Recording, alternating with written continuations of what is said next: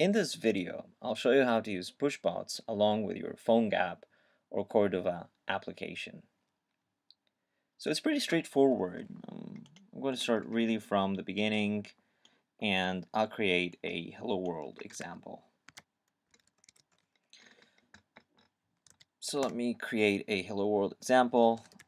Let me go to Hello and first let me add Android platform.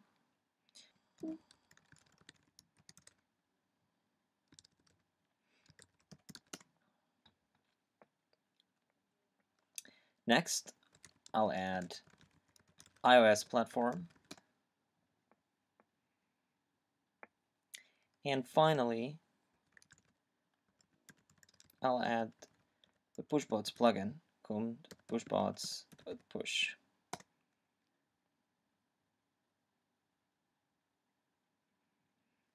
Now I'll open the folder and I'm going to drag it to my editor.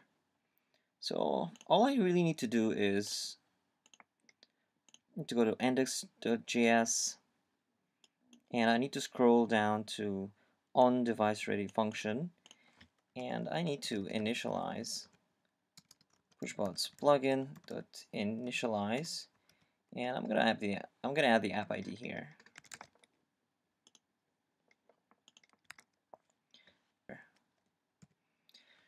So that's pretty much everything for iOS, but for Android there's an extra step.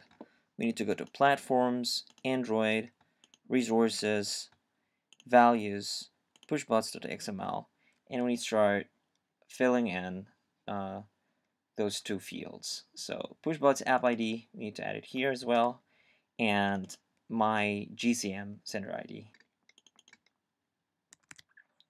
Now I need to prepare my project. So Cordova prepare Android. And finally, I'm going to run it.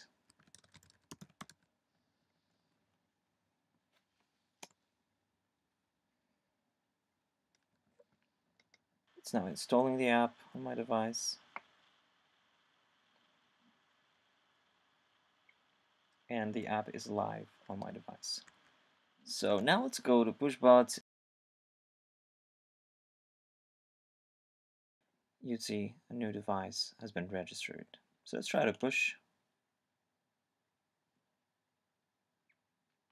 Hi from pushbots on Cordova and send.